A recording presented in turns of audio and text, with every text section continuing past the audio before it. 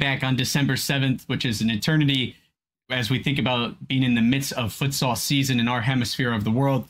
But we saw the Intercontinental Cup, which was a match between the Copa Libertadores champions Cascavel and UEFA Champions League winners Palma Futsal.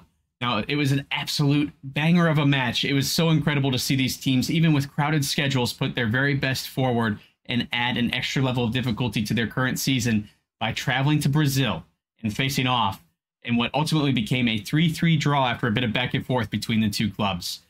Ultimately, Palma won, but it created quite a stir in futsal social media as people were begging for more.